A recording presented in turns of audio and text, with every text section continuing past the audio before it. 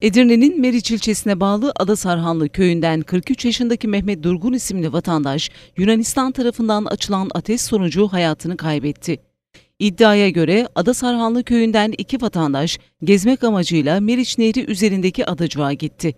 Burada sınırın karşı tarafındaki sivil kıyafetli kişilerle iki Türk vatandaşı arasında sözlü tartışma yaşandı.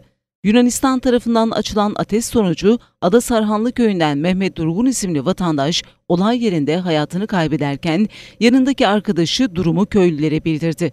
Durgun'un cansız bedeni Meriç İlçe Devlet Hastanesi morguna kaldırıldı. Yunanistan tarafından açılan ateş sonucu bir Türk vatandaşın hayatını kaybetmesi nedeniyle Türkiye Dışişleri Bakanlığı tarafından Yunanistan'a nota verildi.